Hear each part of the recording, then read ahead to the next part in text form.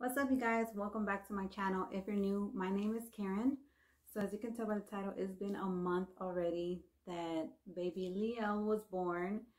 So I'm just gonna get to, there's not really much that's happened in this one month simply because I feel like me having somebody here helping me has been a huge blessing I know a lot of moms out there don't have that opportunity to have um, somebody help them, even if they have their spouse um, or the baby's father that's living with them, they may not help around a lot. So I'm blessed that, you know, I have my mom here with me and my husband as well that have been taking good care of me. So I am very thankful and I feel very blessed that God has allowed my mother, you know, to live this long and be here with me to share this moment, you know, having her grandkids. So um, let me start off with baby. I want to say, um, you know, he's four weeks old. He's been very calm and such a well-behaved baby. He wakes up every two hours. Every two hours on the clock, he is up and ready to eat. So that's one thing that um, I don't I don't get very, you know, paranoid about like oh he's not waking up. Um, no, he wakes up every two hours to eat. So I'm looking over there because you know I'm watching him from here. Um, he's sleeping, but he eats every two hours from week one to week two. He pretty much just eat, sleep, eat, sleep, eat, sleep. And so around week three, he started waking up um, a little bit longer. Like he would stay awake and he would look around for about 20, 25 minutes at max. Um, thankfully, um, again, I if I didn't mention this already, I do officially breastfeed him. So as far as what I'm eating is chicken soup and oatmeal and then I may have some crackers, um, cranberry juice and water, maybe some apple juice here and there. But that's pretty much what I eat breakfast, lunch, and dinner. Yes, it is. Sometimes it could be very tiring of eating the same thing over and over again. But this time around, I I'm I'm like okay with it. You know, I'm not complaining. Uh, some days I do feel like I want to eat something more solid, like maybe pasta or pizza or something. I want to eat something, you know, that I haven't ate in a while. But because I am nursing, I know that a lot of every like a lot of things that I eat may affect the baby, you know, give them colics or stuff like that, upset stomach. So I really want to stick to one meal for now, just because that's what's been working for the both of us. So thank God he has not been fussy. He has not been colicky. He has not been constipated. He's just been perfect. Like I cannot say anything but that he's been perfect. Um, again, a lot of people told me, and I read as well, you know, like, is he crying? There's, you know, that witching hour that a lot of people talk about with newborns.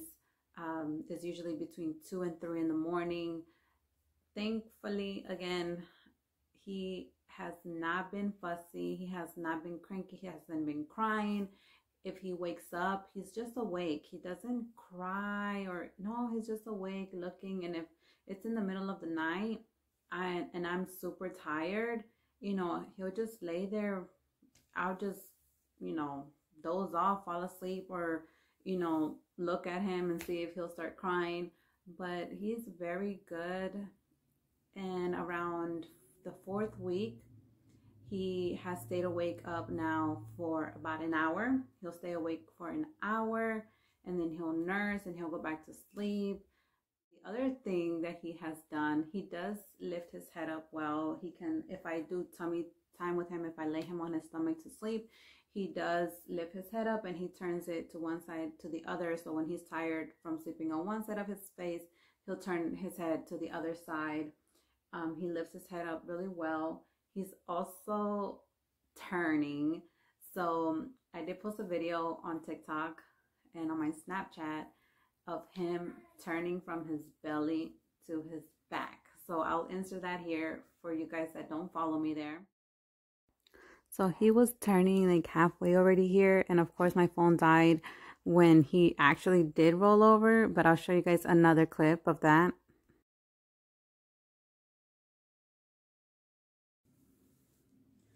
So I'm just super like, oh my goodness, my baby is growing too fast. And although I stare at him all day, all night, I still don't see how he's growing and doing all of this, you know, new things.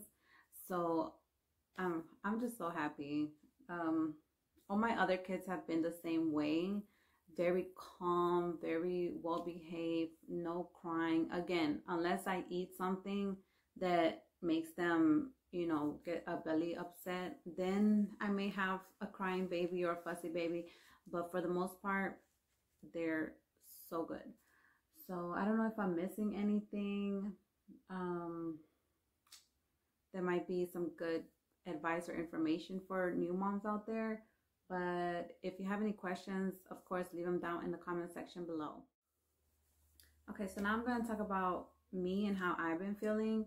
So again, as I said, you know, I have my husband who supports me, who deals with me with my emotions and my cryings and everything that, you know, I'm dealing with. And my mom she's here you know um, supporting as well. She assists me you know with the kids or with bringing me food up to my room.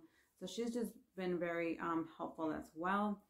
So let me just start off. I do i did some research as far as you know how important it is to do skin to skin with baby again if you guys follow me on um, snapchat i've posted a couple of here and there when i've been doing skin to skin with the baby I try to do skin to skin at least once a day, if not twice a day.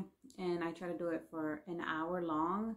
Sometimes I cut it short because we start, you know, our body heat, I guess, we start getting hot. So it's a lot of, um, the baby starts to sweat and I just don't want him laying on a puddle of sweat on my chest. So um, I've been doing a lot of skin to skin. I heard it helps, you know, with um, postpartum depression, and of course, it has a lot of benefits for the baby. You know, his with his blood and his breathing and everything like that. I don't want to go into detail because you know you guys can look that up. But I want to say that I feel like that has helped so much. I feel like I haven't been depressed. The first week that I got home from the hospital, I did get emotional like on the fifth day, sixth day, because my husband was gonna go back to work the next, um, like the seventh day, like a week after I had the baby, he was gonna go back to work. So I did get emotional. I did start crying because he was gonna go back to work.